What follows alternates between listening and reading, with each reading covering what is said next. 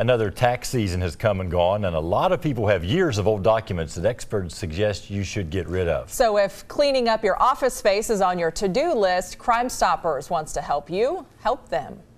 Coming out of a year where millions of Americans found themselves unemployed and in desperate need of state and federal aid benefits, countless Kentuckians have had to battle an extra layer of frustration identity theft. And identity theft has constantly been on the rise for the past couple years. Take it from a detective who tackles it day in and day out. Mike Painter says everything a crook needs to steal your identity could be found on a single piece of mail. It could have your name, address, uh, bank account numbers, recent purchases, uh, travel history, things things someone would need to commit that fraud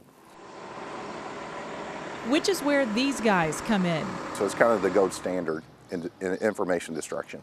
Dave Orwick is the president of Wildcat Shredding, and he's teamed up with Crime Stoppers for a one day shred event that will get rid of your sensitive information for good.